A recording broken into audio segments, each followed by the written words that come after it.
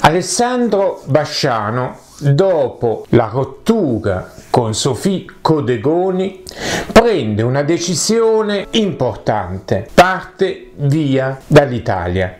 Si vede in una foto sui social che lui ha pubblicato che si trova in un aereo e ha scritto è forse arrivato quel momento in cui ti sei fatto mille domande e cercato invano mille risposte ho dato tutto me stesso e combattuto e sofferto per il bene della mia famiglia.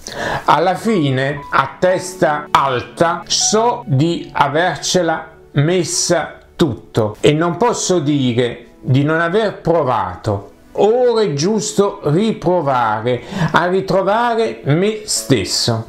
Sono due mesi che convivo con attacchi di panico e ansia. La mia salute e il mio stato d'animo purtroppo non sono dei migliori.